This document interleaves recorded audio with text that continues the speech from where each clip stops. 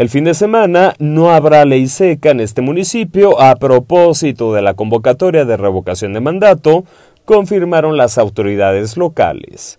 Eric Adán López, director del Departamento de Industria y Comercio del Ayuntamiento, agregó que a pesar de esa decisión oficial, reforzarán los operativos en lugares donde se venden bebidas alcohólicas al por mayor.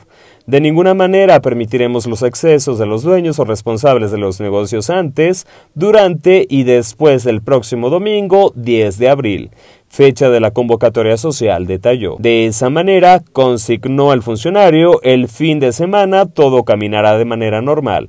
Podrán abrir y cerrar de acuerdo con la normativa correspondiente y sobre todo aún con las medidas sanitarias requeridas, subrayó.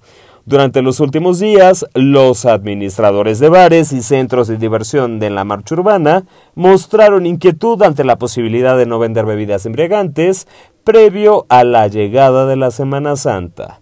Reportó para STV Atlixco Puebla Luis Castillo.